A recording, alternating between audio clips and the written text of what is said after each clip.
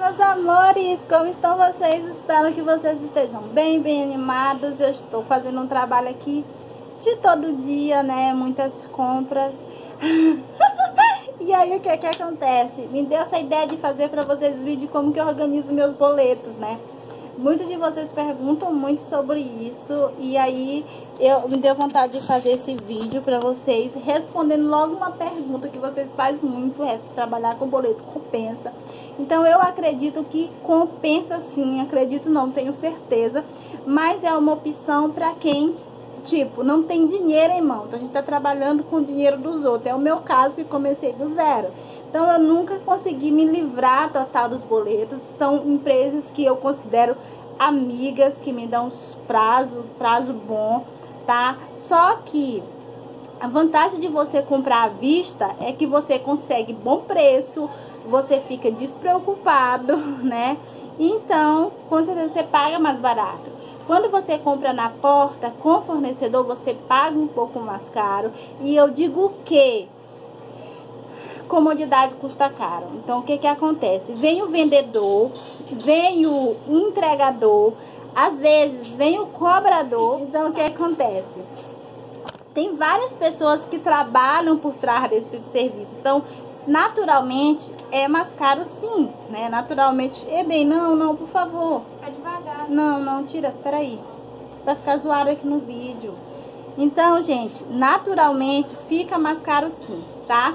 Mas como eu não tenho dinheiro para comprar à vista, no momento o meu fornecedor é a solução. Comprar a prazo é a solução, tá? Mas sendo que a gente tá priorizando também é, comprar à vista de pouco. Eu botei até lá no outro canal Empreendedora Lauriane para ficar postando as comprinhas para vocês não ficar sem. Porque se eu for esperar para editar aqui, fazer um vídeo bem feito, às vezes não dá de postar tudo. Aqui é pequeno, então é correria. Começando, como que eu organizo os meus boletos, tá? Primeiro eu organizo por datas, porque nem sempre, aqui o teu troco, tá, Isadora? Nem sempre o, os boletos novos vencem depois dos, dos que já tem, tá?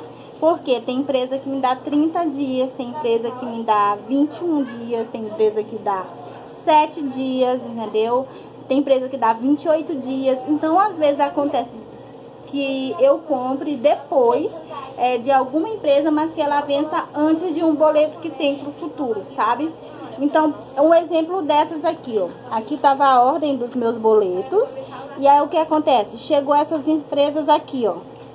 E por incrível que pareça, elas vencem antes dessas outras. A última, o último boleto aqui que eu tenho é pro dia 25 do 9, tá? Então, é, só esses dois dias chegou o boleto para 10 do 9, para 15 do 9, para 18 do 9, 14 do 9 e 20 do 9.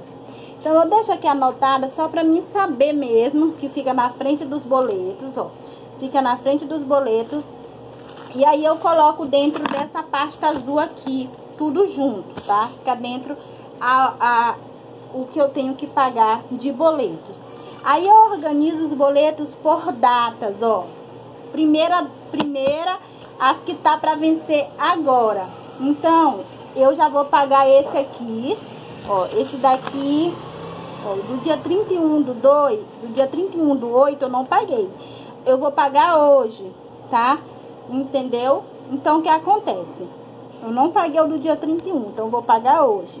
Ó, 31 do 8, 218,10, 31 do 8, 127,66 e 1 do 9, 42,52. Então, esse venceu on, ontem e ontem, ontem, né?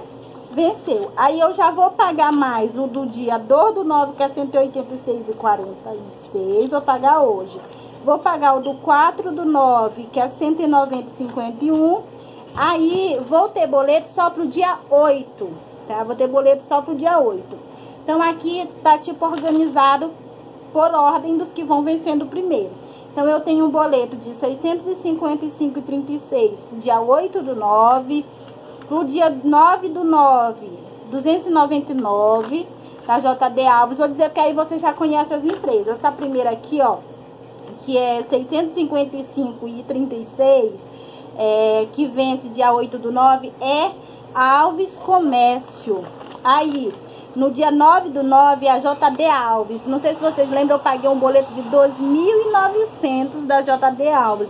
E aí eu fiz uma comprinha de 800 e pouco, uma comprinha de 800 e pouco. Paguei bem recente agora. E aí tem mais um deles que é 299. Porém, como eu já paguei esses outros mais caros, só falta eles dois, graças a Deus. Aí, da Cruzeiro, que é a empresa que me vende arroz, a empresa que eu iniciei meu comércio com R$ 1.500, eu tenho 350 reais para pagar, tá? É no dia 2 do 9, ou seja, hoje. Então, acredito, é hoje ou é amanhã? Hoje é primeiro, é 2, Joyce? Hoje é 2. Então, hoje, né? Mas ele passa dia de terça, então é amanhã que ele vem. Então, porque eu, eu que botei essa data aqui avulsa. Então, no dia, no dia 10 do 9, 128,10. No dia 11 do 9, 153,10. Eu tô muito feliz porque é só boleto pequeno. E sempre tem uns grandes, né? Mas graças a Deus não tem. Eu tô comprando bem pouquinho mesmo. É, e comprando maioria das compras à vista. Então, é 15 do 9 tem um boleto miudinho aqui de 86,58. Essa daqui é da Mendes e Parentes. É as empresas que me vendem barbeador, gilete e esses aqui Fine, as lâmpadas. E no dia, no dia 20 do 9, no dia 20 do 9 vence uma compra de 88,32 da EBD. Então essa compra acabou de chegar. Aí eu já enfiei aqui na data, ó. Aí pra ver que já tem um que é depois. E eu vou já mostrar ela pra vocês nesse vídeo, tá bom? E aí, o último boleto no dia 25 do 9, no valor de R$ 190,50. Então, bora lá. A compra que chegou da EBD, né? É, já, já anotei aqui nessas observações, porque depois eu vou organizar aqui, ó. Tirar esses que eu já paguei e encaixar esses aqui no meio. Ou seja, eu vou ver toda essa ordem que eu fiz e vou reanotar tudo de novo, tá? Pra mim saber. Aí eu boto os pontinhos pretos nos que eu já paguei. E também é bom lembrar, eu sempre separo as notas, gente, ó. As notas. Porque se você deixar as notas que... Como é o nome disso aqui? As DANF, né? DAF, sei lá. Essas notas aqui fiscais, junto com os boletos, você se perde. Corre o risco de você...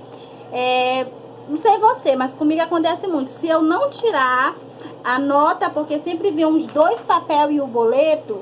Se eu não tirar o boleto e separar, e separar essas notas, acontece de boleto ficar junto com nota e eu esquecer de pagar e depois eu me deparar de surpresa com uma cobrança, entendeu? Então, eu separo sempre as notas. A compra que chegou agora, eu vou mostrar pra vocês, aproveitar pra mostrar pra vocês essa compra, tá? Então, ela é 88,32 da EBD tá bom? Então já tava organizando esses boletos, então eu não vou mostrar pra vocês essas compras aqui. Então, foi essas comprinhas aqui que chegou, ó, seis é, saborame, Nissin Nosso Sabor, de pouquinho, e Nissin Nissin que aqui o povo chama de original, né? Sazon do Nordeste, que eu vendo muito aqui, e um suco, tá? Foi essa minha comprinha, eu não queria comprar nada, mas aí o vendedor insistiu, eu disse, é, então eu vou fazer essas compras aqui.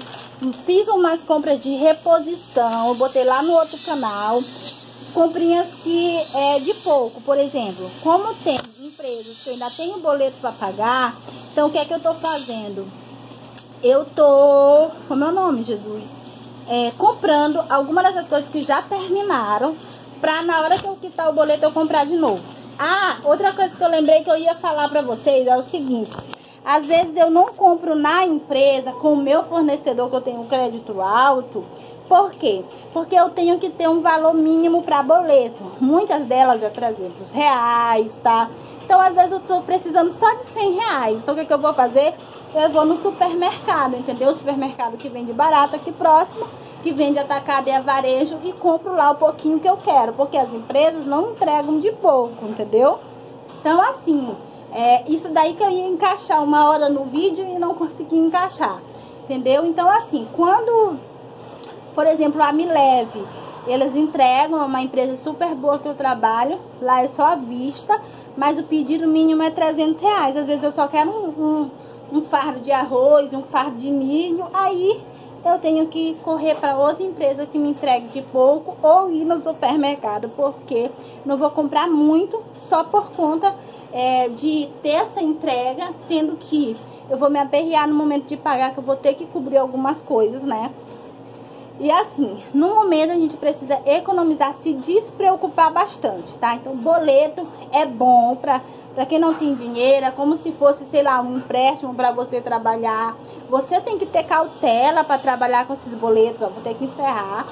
É, mas é uma benção na nossa vida, porque isso aqui nos ajuda a crescer. Se eu quisesse sortir mais o comércio, eu sortiria, mas eu fico bem preocupada. Então, quando as coisas estão muito bem, eu compro mais, que eu sei que eu vou dar conta de pagar, mas no momento não mais tá. caro, né? Esses daqui é, coincidiu da frente, eu já paguei os mais caros, então são valor pequenos que tem para mim pagar agora esse mês. Então assim, essa é a minha vida de, de boleteira, essa é minha vida com esses boletos. Graças a Deus, né? Eu nem posso considerar esses boletos aqui tem dois dias de atrasos atrasados. Realmente é porque eu não pude ir, não tive tempo de ir. E eu não tinha no Recarga Pay, no Recarga Pay não. É, também não tinha no Recarga Pay nem no Mercado Pago saldo para pagar eles. Eu não tinha, tinha o dinheiro aqui, mas não tinha o tempo para ir, entendeu? Por isso que às vezes o Mercado Pago me ajuda muito quando eu tenho o, o dinheiro lá para mim pagar. Para quem não sabe, é o aplicativo que eu uso com essas máquinas de cartão aqui, ó. Aí quando tem saldo, eu pago boleto, boto crédito, faço mil coisas. Inclusive os links da máquina tá aí abaixo, da Ponte Minha e da Ponte Pro. Aqui precisa de celular que não precisa. Então é isso aí, beijão. Falei demais. Tchau, tchau.